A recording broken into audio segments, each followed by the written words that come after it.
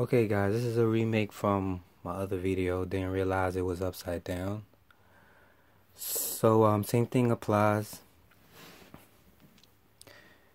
Um IFTTT app from the Play Store. Search. Type in Google.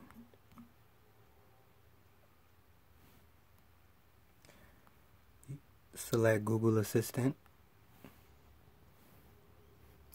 Scroll down to Applet Maker.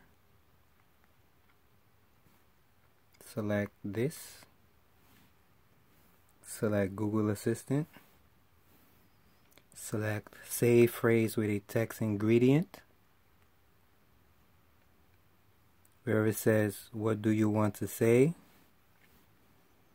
Type in tell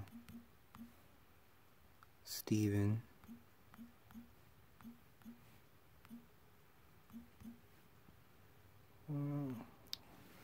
Don't forget to put that symbol sign. Okay. Whoever you send it a message to you know you put the name there. I'm trying to send a message to Steven so I put tell Steven on the bottom where it says what do you want to what do you want the assistant to say in response? I put okay.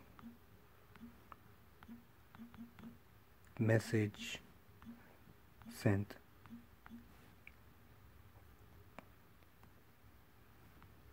Save it. Hit the check. Now select that search for Google.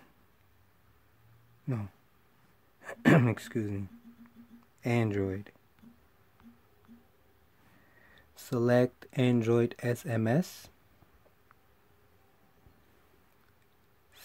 send an SMS put the phone number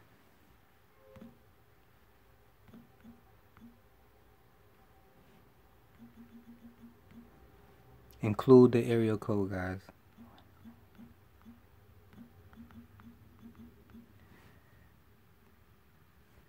Hit the check button. I choose not to receive notification when the applet runs so I unselect that hit finish. Now let's try this out